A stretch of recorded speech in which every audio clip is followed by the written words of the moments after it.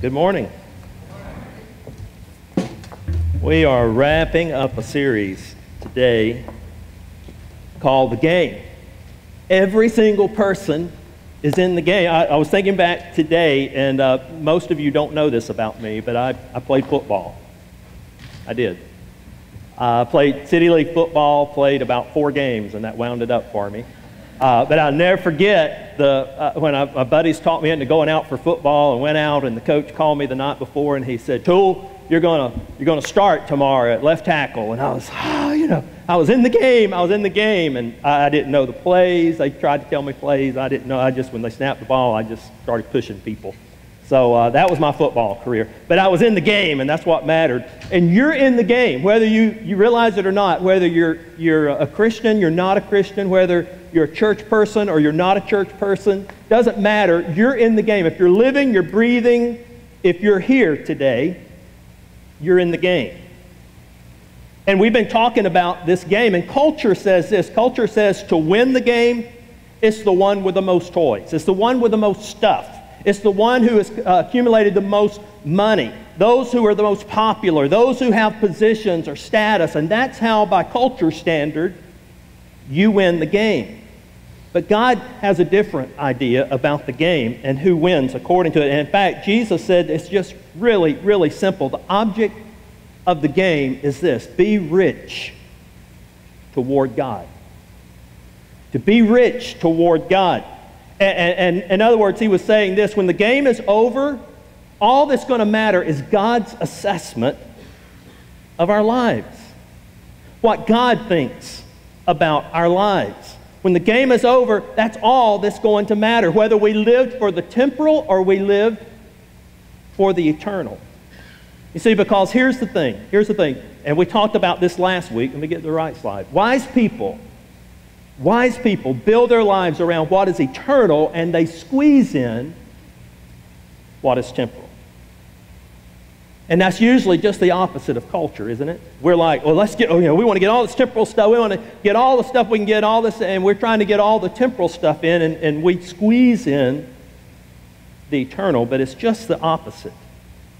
And in order to live like that, we have to be able to distinguish what is temporal from what is eternal. We talked about that the very first week. Think for a moment. What gets the majority of your time? What gets the majority of your energy? What gets the majority of your resources? What do you value the most in life? Now, before you give me the church answer and you go, Jesus, you know, that, that's the standard answer. But before you give that answer, think about it. What do you value the most? What gets the most of you and what you have? And you see, the true test, you've heard me say this many times before, the true test of that is let's look at your calendar and let's look at your bank account. Because those two things alone tell us what we value as people and where we make our biggest investments. Another way is, is what relationships do you value? And how much have you invested and poured in to those relationships? In other words, what will last and what goes back in the box. And then last week we talked about scorekeeping. Scorekeeping. We're all scorekeepers, whether you admit it or not. We all keep score some way, somehow, in some form. We tend to keep score in life. And, and, the most common ways that we tend to keep score, we keep score by number one, comparing to others. We, like, we compare to people above us. We want to get up there. We compare to people beside us, and then we compare to people below us, and we go, well, we're, you know, we're better than they are. So we compare is one way. The second way that we do this is, is through competing. We compete with one another. We try to one up one another. I mean, you may be good, but I'm going to try to be just a little bit better than you. And the third way is climbing. And we talked about the ladder. Everybody wants to get a little bit higher up on the ladder. Go that one next rung on the ladder. And we, soon we find out that those, those rungs get further and further apart and it gets harder and harder. And there's always going to be somebody above us on the ladder and oftentimes, if we do reach the top of the ladder, we often find out that that ladder is leaning on the wrong building. It wasn't the one we wanted to go on. These are the way that we tend to keep score in our life, but God's system is totally different. And we talked about that last week from Philippians 2. And God says, here's the scoring system. Here's how I keep score. It's by humble service. And we talked about the entire life of Jesus I mean, here's Jesus. Jesus is, is in heaven. Jesus is beside God. Jesus is there at the creation. Jesus has all the power, all the authority, all the glory. I mean, he's got everything. And here is Jesus, and we look at his life, and his story is not of someone climbing up the ladder. His story is someone, the story of someone coming down the ladder. Jesus' entire life was a life of demotion.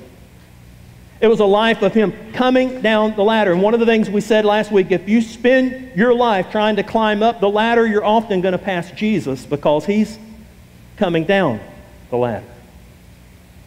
And Jesus said this Jesus said to keeping score, he said, Here's how I define it it is serving and self giving love.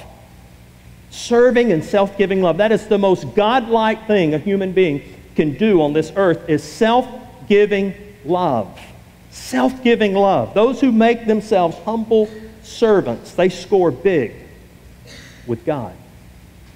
Now, if you missed the first two parts of this series, you can go to the website, you can go to our Facebook page, you can watch the videos, and you can catch up. But today we're going to wrap it up. And today I want to talk about something very, very important. I want to talk to you about something that wars have been fought over. That something that has caused husbands and wives to split up. It's something that has caused dissension between parents and their kids. Something that, that people have taken their own lives over. Something that people have murdered over, cheated over, lied about. It has divided countries and caused countries to topple. And it's also caused churches to split and divide. Anybody have any idea what it is? Good. So this will be new. Here it is. Money stuff. Anybody got some stuff? money and stuff. There's an interesting story in Mark chapter 10, and Jesus encounters a young rich man. I mean, they just, they, they go ahead and tell you up front, this guy's loaded. I mean, he's got stuff, he's got some money. And Jesus encounters this young man, and this young man comes running to Jesus one day, and he said, Good teacher, what do I have to do to inherit eternal life? What do I have to do to really win? I'm winning now. I mean, I'm winning big, but what do I have to do to really win big? And Jesus says, okay, since you're into doing, he said, let me give you some stuff to do. He said, keep all the commandments.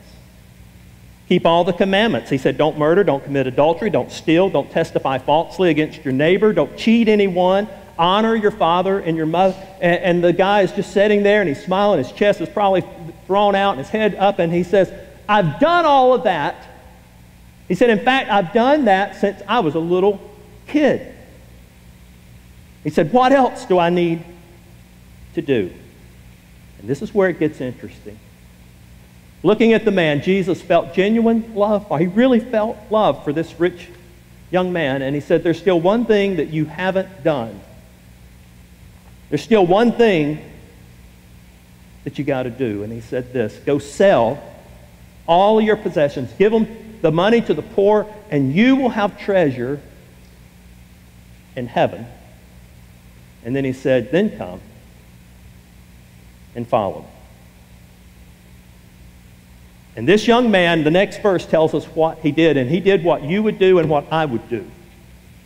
He responded probably the exact way that you would respond, and the many of you responded this morning when I said we're going to talk about money and stuff. And this is their response. At this, the man's face fell, and he went away sad, for he had many possessions. And that still happens today, especially when you talk about money and stuff. Faces fall, faces get distorted, and we become defensive. And we're talking about our money. But I believe this encounter with the rich young man and Jesus, this, this encounter gives us a couple of important truths about winning the game, winning at what matters most in life. And the first thing I think it teaches us is this everything we have Everything. Everybody say that with me. Everything. Everything we have belongs to God. Everything. Your house, your car, your business, your job, your boat, your bike, your condo, your cabin, your gadgets, your toys, your family, your money, even your body and your health. Everything belongs to God and it's on loan from Him. It's not permanent. You know, and, just a little side note that's why I, I've never understood when we mention the word tithing. I've never understood why people would get so uptight and defensive about that. Because it all belongs to Him anyway. And He's just asking for a percentage of it back. He, he could rightfully say, I want everything. He could have told us what he told the young man, you just get, go sell everything and you bring the money to me and distribute it to the poor. But God said, hey, it's on loan to you, and I'm just asking for percentage back from that. And tithing is a way to remind myself that everything I have is not mine, it's God's. Every time I write a check, every time I put something in the offering plate, it's a, it's a visible reminder to me to bring me back to reality to say, hey, I own nothing. God owns it all. God has entrusted me with this. You know, it's strange how we start out with everything and accepting everything as a humble gift and grateful gift from God. I, was thinking this week of so many, so many things in our life that uh, when we got married. We, we got married and left on our honeymoon. We didn't even have a place to live. There was no place available. We didn't have a place to live. And while we were on our honeymoon, a little duplex came open, and, and some people got the duplex for us. They even moved our what little furniture we had, they moved it into it, and we came home and we were like, oh, you know, we just like melted. It was like, oh, God, thank you.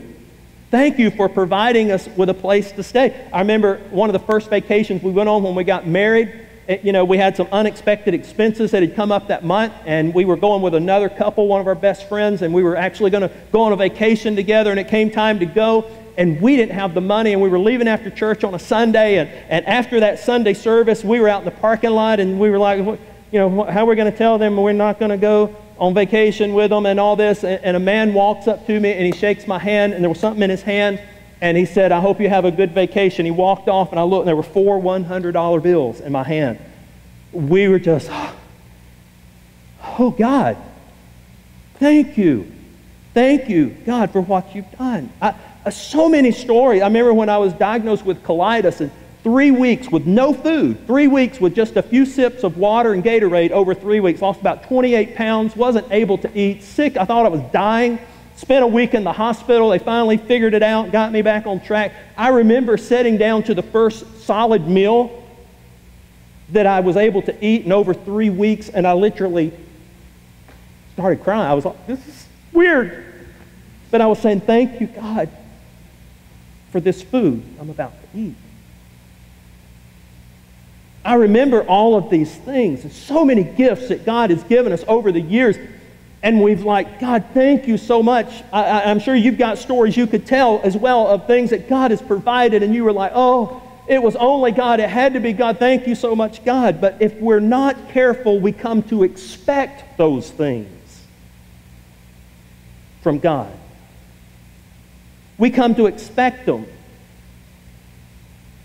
He owes us that. I mean, we, we've earned that. We own that because we worked hard. We own that, and, and when we own it, we think it's for our pleasure. And that's why we get uncomfortable when people talk about money and our stuff. And that's why we respond, well,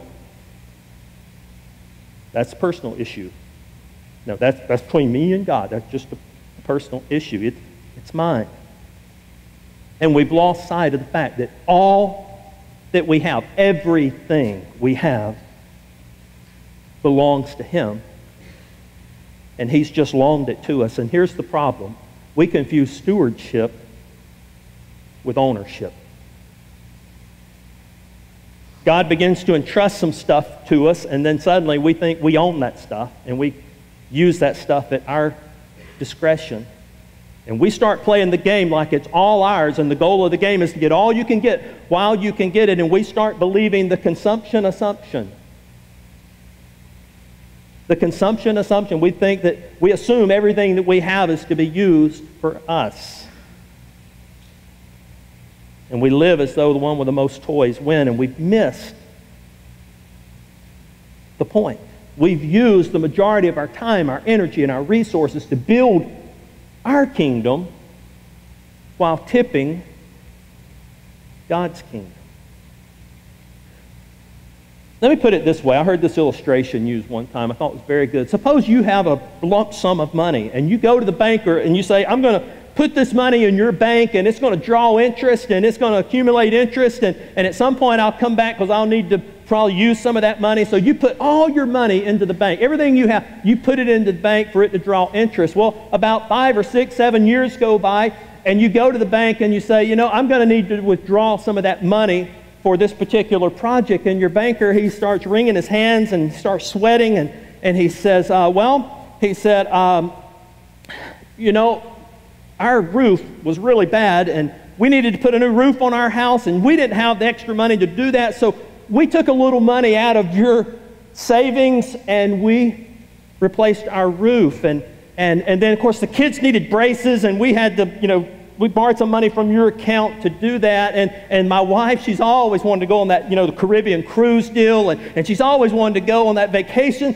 And we didn't really have the money to do it. So we took some of the money out of your account to go on vacation. And, sir, I'm sorry, but there's not really much of anything left in, in your account. Now, just pretend, for just a split second, pretend we're not sitting in church. How would you respond? I could imagine. Probably the same way I would. We would be livid. We'd be ticked off. We'd be like, what possessed you to think you could take my money and spend it on your stuff? I wonder sometimes how God must look at us. And He said, I trusted you with so much. What did you do with it? You see, the rich young man, he was not a bad person.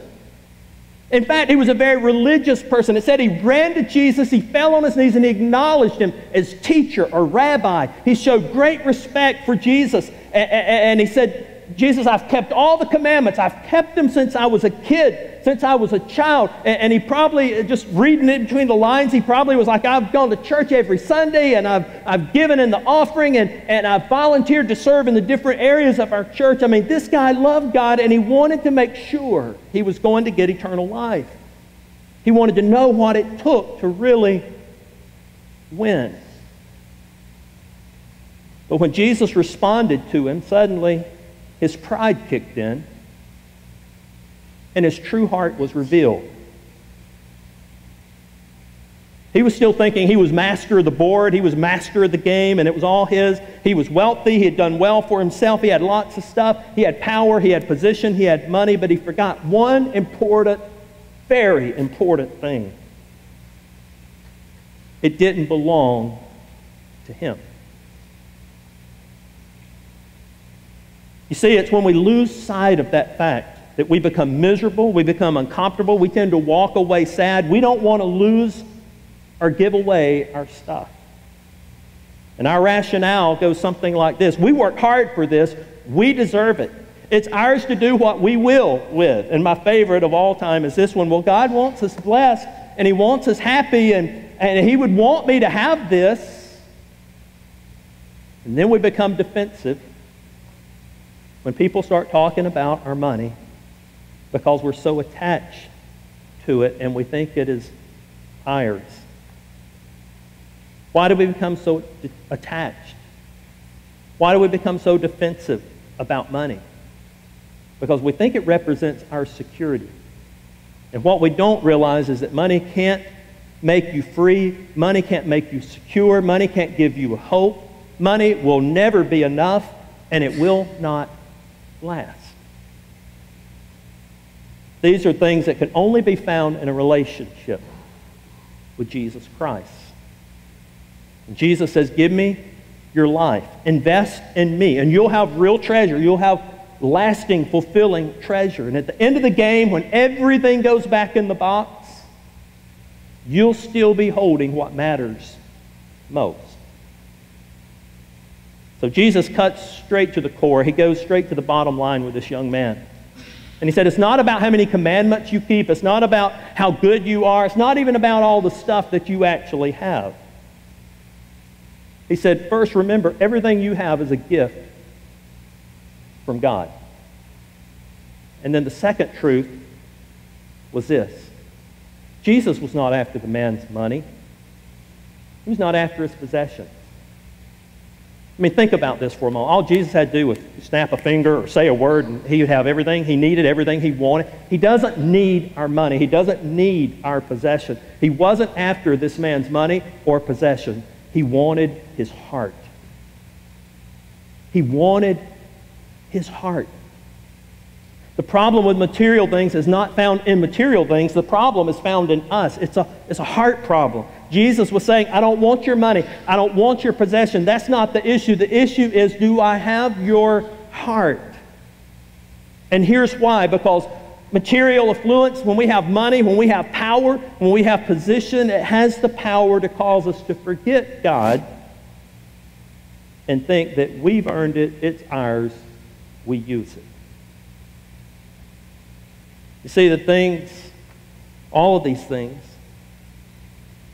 they weaken our God awareness and our God hunger. And they set us up and set our hearts up to worship things that have been created rather than the one who created them. The problem is these things have no ability to offer me that that I desperately want and desperately need. So the question today is who has your heart? Where is your heart? Who has your heart? What has your heart attached itself to? What has our heart, it'll also have our time, our energy, our resources, our money. What has our heart will have our love, it'll have our devotion, it'll have our trust. You know, when I got married to my wife, in that ceremony, there came a time when I said, Marie, I pledge my heart and my life, my love to you.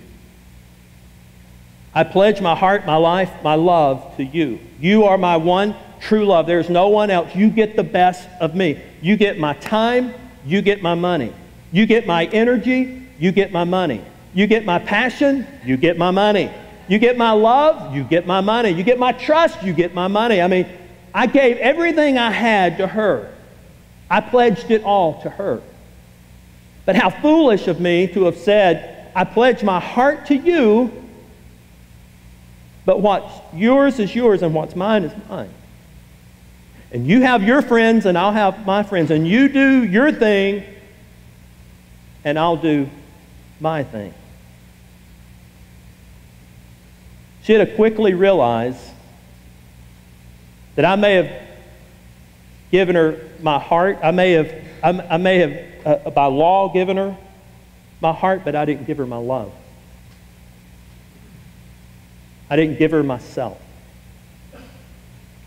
The rich man, he was willing to do all the right things, but he wasn't willing to do the one thing that he needed to do the most, and that was surrender his heart. And the reason Jesus wanted his heart, and the reason Jesus wants our heart is simply this because where our treasure is, that's the, the desire of our heart will also be. He wants our heart. And so Jesus was saying in this verse, and he was saying to the rich man, and he was saying to us today, I want to be your treasure.